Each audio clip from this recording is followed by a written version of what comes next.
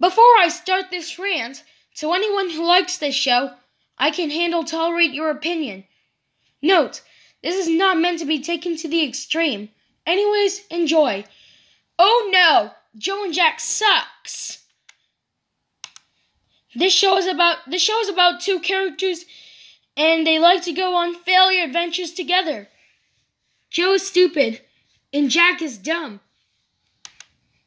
The animation is trash, the theme song is stupid, and the characters are poorly drawn. Thank God this show got canceled in 2020, and thank God this show got taken off the air. Do you know who likes this show? Logo Lover. He said that this show is cute and and this show is part of his childhood, but I re, but I can handle tolerate his opinion on it. Do you know who hates this show? Me. If you really want to watch a better show than this garbage, then you're coming to the right place. Go watch Let's Go Luna instead because it's way better than Joe and Jack. On the next episode, I'll be ranting Dora the Explorer.